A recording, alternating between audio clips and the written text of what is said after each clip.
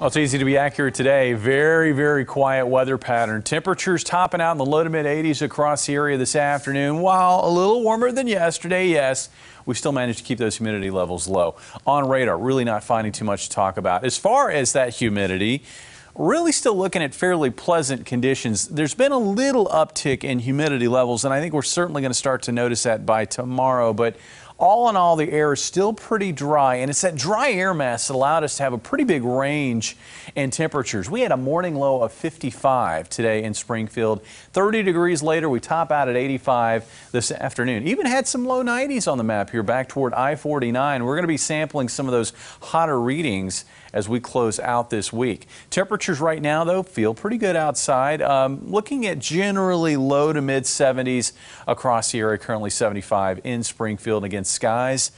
Right now, they're clear. There have been some showers and thunderstorms off to the west here, south of I 70.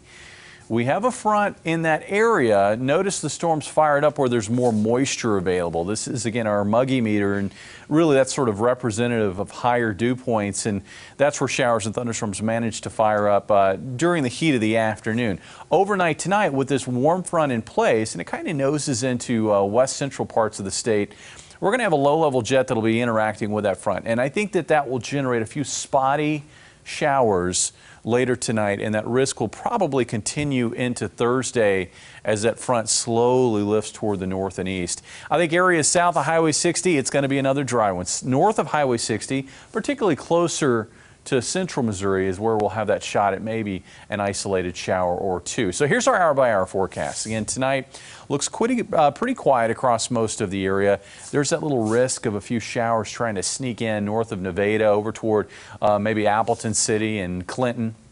That activity will try to build a bit further east during the morning hours. So it's not out of the uh, realm of possibility that places like maybe Lincoln and Warsaw, south down through Hermitage, east across Camdenton, Lake Ozark, Versailles, maybe Eldon, even as far east as Waynesville and Rolla, we could see a shower in any of those spots. But south of there, I do expect the day to stay dry. Temperatures tonight, not as cool as last night, but still pleasant.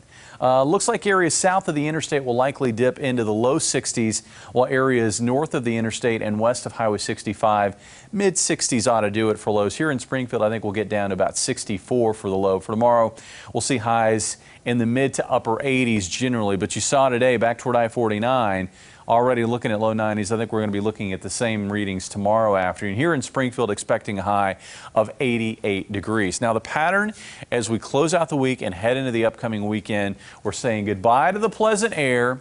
And on Friday, we're looking at, I think, uh, what will be a hot and humid day. There will be a bit more moisture working into northern Arkansas and southern Missouri, south of Highway 60. So I think we're going to see a little bit more cloud cover here, partly cloudy skies, and maybe a few isolated showers and thunderstorms for the afternoon hours. Areas to the north should stay dry. Saturday will offer up a chance for showers and thunderstorms. Um, which will probably be at the highest level since Monday of this week. Uh, it looks like at the very least we should find widely scattered to scattered showers and thunderstorms here across northern Missouri and to central parts of the state. And some of this activity may try to work down closer to the state line, but I do think that it will it will be wetter north and drier south on Saturday. And if you don't get the rain on Saturday, I think chances actually take a dip on Sunday into Monday as it looks like high pressure upstairs is going to try to build back over the area.